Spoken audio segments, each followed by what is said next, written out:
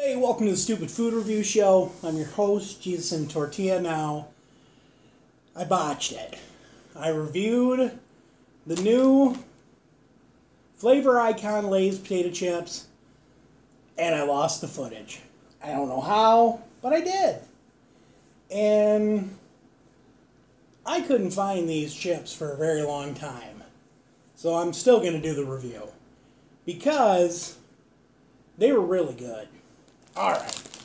Now I got this one in the can. You'll see that.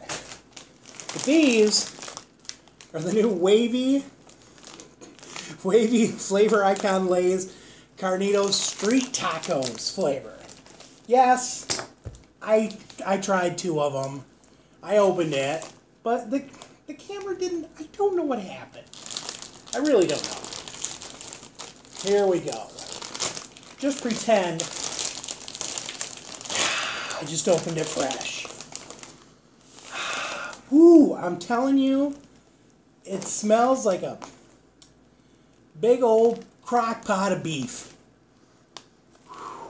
But with some char to it. So you got a char there. Oh, I'm telling you.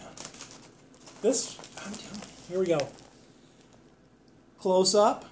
These are the Wavy Carnitas Street Tacos flavored El Torito Mexican restaurant.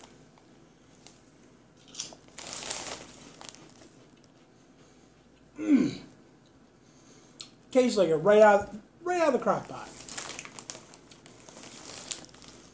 It's like stewed beef, but it's good. Mmm. These are really good.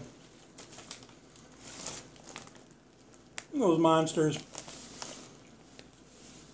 I've already done the um, Nashville hot chicken. There's also one that's chili rellenos. Um, I don't know if I'll be able to find that. I really don't want the pizza flavored ones. No one likes pizza potato chips. That's disgusting. And um, what else? Oh, there's like Philly cheesesteak, but I believe that is um kettle cooked. Blah, blah, blah. I don't like kettle cooked, so I'm happy. I'm just gonna do these two, plain lays and the wavy. These, you know what? When I initially reviewed these, I think I gave them a nine.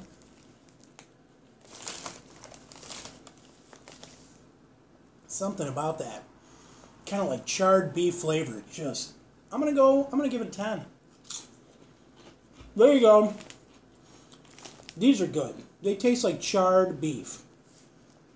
That's all you need to know. 10 for the Lay's flavor icon. Delicioso. Love you guys. Love you, babe.